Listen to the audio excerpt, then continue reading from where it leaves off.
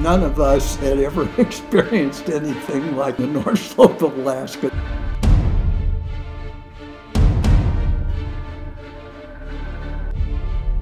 I went up there and it was 36 below zero. It was dark all the time.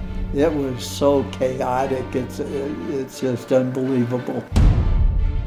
Governor Wally Hickel said to me, I think there's 40 billion barrels of oil under this place. We had found a live oil seep along the Sagamore River.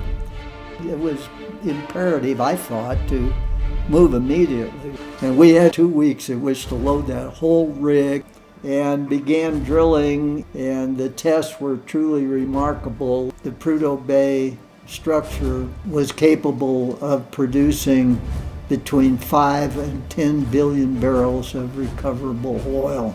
That's when the top blew off of everything.